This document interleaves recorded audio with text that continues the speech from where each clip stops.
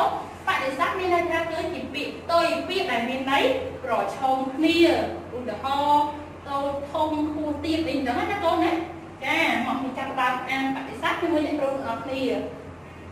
ធំធំផ្ទុយនឹងតូចស្រស់ផ្ទុយនឹងស្រពន់ចាតោះនេះកូនមកឥឡូវយើងដល់ចំណុចមួយទៀតគឺវេវចនៈស័កនិងពាក្យមេត្រីវេវចនៈស័កកូនស្គាល់ពាក្យវេវចនៈស័កទេពាក្យវេវចនៈស័កមានន័យថាម៉េចកូនដឹងទេវេវចនៈស័កគឺជាពាក្យដែលមានន័យដូចគ្នាអាចប្រើជំនួសគ្នាបានពេលដែលប្រើជំនួសគ្នាទៅមិនធ្វើឲ្យល្បတ်នោះបដូរទៅន័យផ្សេងណាតោះនេះគាត់ចាឥឡូវយើងបានអានជាមួយអ្នកគ្រូណាមេត្រី ស្រឡាញ់ស្នេហាប្រតិបត្តិចាបន្តមកទៀតសតិសស័កនិងពាក្យជុំចាពាក្យសតិចំពោះសតិសស័កជាពាក្យថ្មីសម្រាប់កូនណាព្រោះថាតាមថ្នាក់ទី2កូនអត់សូវបានរៀនដល់នឹងទេសតិសស័កមានន័យថាគឺជាពាក្យសោដូចប៉ុន្តែចំពោះពាក្យវាអឺការប្រកបនិងការពិសេសគឺខុសគ្នាគាត់ ណាឧទាហរណ៍អាចមកមើលនេះជាមួយអ្នកគ្រូណាវាជាពាក្យជុំនេះចាំមើលយើងមើលសតិសសតិសស័កនិងពាក្យជុំគាត់ណាមកជុំជុំទី1យើងសេចូលស្រៈអុំមានបកជើងណាពាក្យកិរិយាមូគ្នាមូគ្នាដំណើរជុំចាចាំមើលមករកកន្លែងដកដែរវិញឧទាហរណ៍ ដើរមួយជុំចាមើលកន្លែងមើលមើលកន្លែងជុំទី2ណាទីដាក់ចុះដាក់សង្អុំគឺគ្មានបកជើងទេចុះជុំនឹងមានន័យថាម៉េចវិញមកថ្នាក់ពេកទីកិរិយាក៏ដូចគ្នាដែរមានន័យថាពីគ្រោះស្នើឲ្យដើមការចាំជំញាតចាំអូសំទោសណាចាំជំញាតសំទោសសំទោសចាំជុំ ចាំជុំញាតមើលសិនចាចំពោះអាពាក្យជុំនេះអាពាក្យជុំដល់លើគឺជុំវិញកូនវិធីកូនដើមមកជុំសបាអីហ្នឹងទៅចំណែកអាជុំខាងក្រោមគឺថាជុំញាតជុំប្រភេទជុំបងប្អូននឹងឯងណាកូនគាត់ណែចាបន្ទាប់ពីយើងបានសិក្សាពាក្យពលឹងព្រមទាំង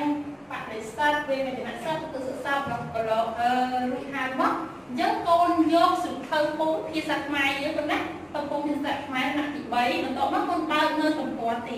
2ហើយចាប់ដើមអានអត្ថបទមេរៀនជាមួយអ្នកគ្រូទាំងអស់ទីប៉ុណ្ណាសូមកូនយកចង្អុលដៃរបស់កូន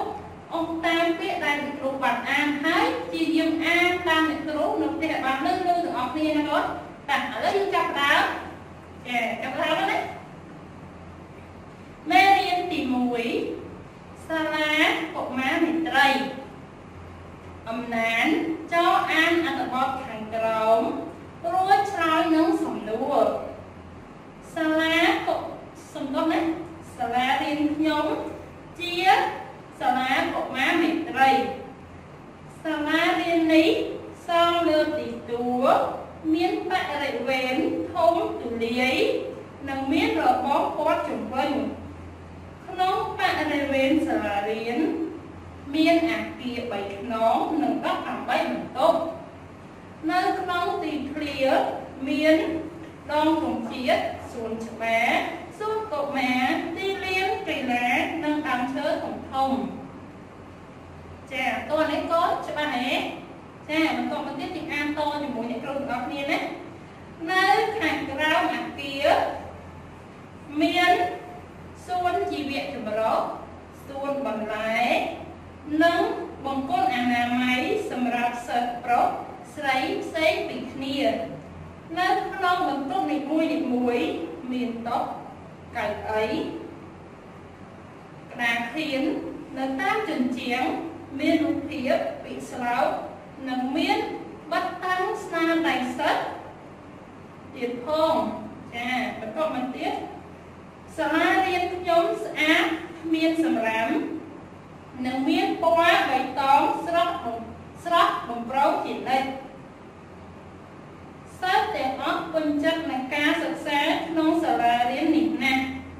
នៅចុងឆ្នាំពួកគេបានឡើងថ្នាក់ទាំងអស់គ្នាហើយគ្មានសិស្សបបង់ការសិក្សាឡើយចាឥឡូវនេះគឺបានអានហើយកូនកូនបញ្ចប់ហើយទៅណា ឥឡូវអ្នកគ្រូនឹងអាន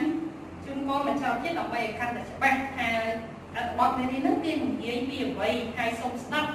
ដោយយកចិត្តទុកដាក់ហើយអានឲ្យលឺលឺតាមអ្នកគ្រូប៉ុណ្ណាតែតែបដើមេរៀនទី1សាលាកុមារមេត្រីអំណានចង់អានអត្ថបទខាងក្រោមរួចឆ្លើយនឹងសំណួរសាលារៀនខ្ញុំជាសនាកុមារមេត្រី សាលារៀននេះសង់លើទីទួលមានបរិវេណធំទូលាយនិងរបងព័ទ្ធជុំវិញក្នុងបរិវេណសាលារៀន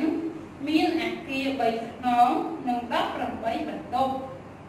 នៅក្នុងទីធ្លាមានដងទន្ជាតិសួនច្បារសួនកុមារទីលានកីឡានិងដើមឈើធំធំនៅខាងក្រោយអគារ មានសួនជីវៈចម្រុះសួនបន្លែនិងបង្គន់អនាម័យសម្រាប់សិស្សប្រុសស្រីផ្សេងពីគ្នានៅក្នុងបន្ទប់នីមួយនីមួយមានតុកៅអីក្តារខៀនតាមជញ្ជាំងមានរូបភាពវិស្រោបនិងមានតាំងស្នាដៃសិស្សឡាក់សាលារៀនខ្ញុំស្អាតគ្មានសម្រាមនិងមាន ពណ៌បៃតងស្រស់បំប្រងជានិច្ចសិស្សទាំងអស់ពេញចិត្តនឹងការសិក្សាក្នុងសាលារៀននេះណាស់នៅចុងឆ្នាំពួកគេបានឡើងថ្នាក់ទាំងអស់គ្នាហើយគ្មានសិស្សបបងការសិក្សាឡើយចាយ៉ាងម៉េចដែរកូនអឺតែអត្ថបទមេរៀនគេគេចង់ថាជាងអំពីអ្វីដែរកូនបន្ទាប់ពីយើងបានអានពីចប់ហើយតើកូនដឹងថា មេរៀនគេនោះអត្ថបទមេរៀនយើងហ្នឹងចង់និយាយអំពីអ្វីដែរកូនកូនដឹងទេចាគឺអត្ថបទនឹងមេរៀនគេចង់និយាយអំពីបរិស្ថាននិងថ្នាក់រៀនសាលាកុមារមេត្រីតើមានអ្វីខ្លះហ្នឹងណាចាបន្ទាប់ពីកូនបានអានអត្ថបទអំណាចជាមួយអ្នកគ្រូហើយកូនបានដឹងទេថា សាលាគេចង់និយាយពីអត្ថបទយើងចង់និយាយអំពីសាលារៀនកុមារមេត្រីគេបាននិយាយប្រាប់ថានៅក្នុងសាលានោះមានដូចជាសួនជីវៈចម្រុះសួនបន្លែសួនកុមារទីលានកីឡាហើយក៏មានដំឈើធំធំត្រឈឹងត្រឆៃសម្រាប់កូនកូនសម្រាប់ពេលចេញលេងណាបងណាពេលកូនអាចលេងជាមួយគ្នាពេលចេញលេងណាកូនចាអញ្ចឹងដើម្បីឲ្យកាន់តែកូនថាតែយល់ច្បាស់អំពីមេរៀននិងអត្ថបទ មេរៀនរបស់យើងថ្ងៃនេះយើងអ្នកគ្រូមានលំហាត់មួយចំនួនដើម្បីឲ្យកូនចូលរួមធ្វើជាមួយអ្នកគ្រូទាំងអស់គ្នាណាកូនចាអរគ្នាឥឡូវកូនចាប់ផ្ដើមអានសំណួរជាមួយអ្នកគ្រូទាំងអស់គ្នាណាកូនណាសំណួរ1តើសាលារៀនមានបរិវេណដូចដាច់2តើក្នុងទីធ្លាសាលារៀននេះមានអ្វីខ្លះ3តើនៅខាងក្រោយអគារមានអ្វីខ្លះ4តើនៅក្នុងបន្ទប់រៀនមានអ្វីខ្លះ5តើប្អូនចូលចិត្តរៀននៅសាលារៀននេះដែរឬទេពីព្រោះ អ្វីចាឥឡូវអ្នកគ្រូនឹងបញ្យល់បញ្យល់កូនព្រោះព្រោះអំពីការឆ្លើយសំណួរដើម្បីឲ្យកាន់តែងាយក្នុងការឆ្លើយលោកណាឧទាហរណ៍សំណួរទី1គឺគេសួរថាតើសាលារៀនមានបរិវេណឬមិនដាច់បរិវេណសំដៅទៅលើទំហំនៃសាលារៀនហ្នឹងធំឬតូចមិនដែរកូនណាតមកទី2តើក្នុងទីធ្លាសាលារៀននេះមានអ្វីខ្លះកូនរៀនរបស់ក្នុងទីធ្លាទាំងមូលតែម្ដងដូចជាមានអីគេ មានទីលានកីឡាមានមានអីគេក៏មានដើមឈើធំធំជាដើមហ្នឹងណាចាបន្តមកទៀត3តើនៅខាងក្រោយអាគារមានអ្វីខ្លះក្រោយអាគារក្រោយអាគារមិញគេប្រាប់ឲ្យមានអីគេមានអីគេក៏មានសុជីវៈមានអីគេបង្គន់អនាម័យសម្រាប់សិស្សប្រុសសិស្សស្រីផ្សេងគ្នាហើយមានអីបន្ថែមទៀតសូមកូនរៀបរាប់មកអស់ប៉ុណ្ណាចាបន្តមកទៀតទី4តើនៅខាងនៅក្នុងបន្ទប់រៀនមានអ្វីខ្លះចានៅក្នុងអត្ថបទមេរៀនយើងក៏គេបានរៀបរាប់ដែរថាក្នុង បន្ទប់រៀនមានអីក៏មានពាក្យស្លោកមានអីទៀតមានរូបភាពនិងមានតាំងស្នាដៃកូនៗដែលបានធ្វើយកបញ្ជូនអ្នកគ្រូណាបន្តទៅទៀត5តើបងប្អូនចូលចិត្តរៀននៅសាលានេះដែរឬទេព្រោះអ្វីចាអត្ថបទយើងខាងចុងក៏គេបានបញ្ជាក់ដែរថាកូនសិស្សនៅទីនោះចូលចិត្តរៀនសាលានោះណាព្រោះសិស្សទាំងអស់ពេញចិត្តនឹងបរិវេណទីធ្លាសាលានឹងទីរៀនសំតុំណាទីរៀនសាលា ហើយគាត់ចូលចិត្តនឹងការបង្រៀនរបស់លោកគ្រូអ្នកគ្រូព្រមទាំងអឺនិយាយទៅបរិវេណសាលាគេគួរចាប់អារម្មណ៍តែម្ដងសាលារៀនកុមារវិទ្យាគឺជាសាលាបែបហ្នឹងណាកូនគឺជាសាលាដែលគួរឲ្យចាប់អារម្មណ៍និងចង់រៀនចាអញ្ចឹងអ្នកគ្រូទូពេលឲ្យប្រហែលជា2នាទីសម្រាប់ឆ្លើយសំណួរដើម្បីទៀងទាត់ជាមួយអ្នកគ្រូណាបន្តិចទៀតអ្នកគ្រូនឹងមានចម្លើយសម្រាប់យកមកទៀងទាត់ជាមួយកូនដែលការឆ្លើយរបស់អ្នកគ្រូនិងការឆ្លើយរបស់កូន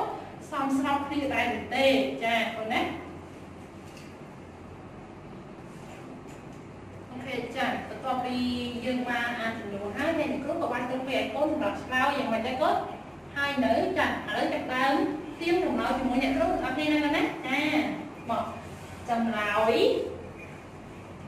1សាលារៀននេះមានបរិវេណធំទូលាយនិងមានរបងព័ទ្ធជុំវិញ2ក្នុងទីលានសាលារៀនមានទងជាតិសួនច្បារសួនកុមារ ទីលានកីឡានិងដើមឈើធំធំ3នៅខាងក្រោយអគារមានសួនជីវៈចម្រុះសួនបន្លែនិងបង្គន់អនាម័យសម្រាប់សិស្សប្រុសស្រីផ្សេងពីគ្នា4នៅក្នុងបន្ទប់រៀនមានតុកៅអីក្តារខៀនតាមជញ្ជាំង មានរូបភាពពាក្យស្លោកនិងមានតាំងស្នាដៃសិស្ស5ខ្ញុំចូលចិត្តសាលារៀននេះណាស់ពីព្រោះសាលារៀននេះមានសោភ័ណភាពស្រស់ស្អាតបរិស្ថានល្អមានអនាម័យ និងមានសួនបៃតងស្រស់បំប្រងសមជាថ្នាលបណ្ដុះបណ្ដាចំណេះដឹងពិតប្រកបចាចឹងមិនដែរគាត់បន្ទាប់ពីបានទៀមទាត់ចម្លើយជាមួយអ្នកគ្រូរួចតើចម្លើយរបស់អ្នកគ្រូនិងចម្លើយរបស់កូនមានកន្លែងណាអឺខុសគ្នាគ្នាអីតិចតួចអត់គាត់មានទេ អ្នកគ្រូសង្ឃឹមណាកូននឹងឆ្លើយបានត្រឹមត្រូវហើយសមស្របជាមួយអ្នកគ្រូដូចដូចគ្នាកូនណាចាឥឡូវបន្ទាប់ពីយើងបានសិក្សាអត្ថបទមេរៀនហើយបន្ទាប់មកគឺយើងបានឆ្លើយជាមួយជាមួយអ្នកគ្រូហើយទៀតអញ្ចឹងអ្នកគ្រូក៏មានជាភាសាអត្ថបទមេរៀនហើយក៏ឆ្លើយសំណួរជាមួយអ្នកគ្រូហើយអញ្ចឹងអ្នកគ្រូមានសំណួរខ្លះៗចង់សួរទៅកាន់កូនណាតើអត្ថបទមេរៀនយើងនេះរៀនអំពី មានចំណងជើងអ្វីដែរកូនចាកូនដឹងទេចាសាលារៀនអត្ថបទមេរៀនយើងមានចំណងជើងថាសាលារៀនកុមារមេត្រីហើយសាលារៀនកុមារមេត្រីជាសាលារៀនមួយដែលជាទីចាប់អារម្មណ៍សម្រាប់កុមារកុមារដែលទៅសិក្សានៅទីនោះព្រោះសាលានោះមានទីធ្លាធំទូលាយមានបរិវេណស្អាតហើយនៅក្នុងអឺបរិវេណនៅក្នុងសំតុនណាគឺថា ចានៅក្នុងថ្នាក់រៀនយើងមានទីចំប្រកបប្រកបដោយសម្ព័ន្ធភាពគឺមានវាស្លោកមានរូបភាពនិងមានបិទតាំងស្នាដៃសិល្បៈមួយចំនួនអ្នកកូនកូនបានធ្វើមកជូនអ្នកគ្រូបងណាចាគឺនិយាយទៅសាលារៀនកុមារមេត្រីគឺជាសាលាមួយដែលទីចំណាប់អារម្មណ៍ចំណាប់អារម្មណ៍ក្នុងការសិក្សារៀនសូត្រចា៎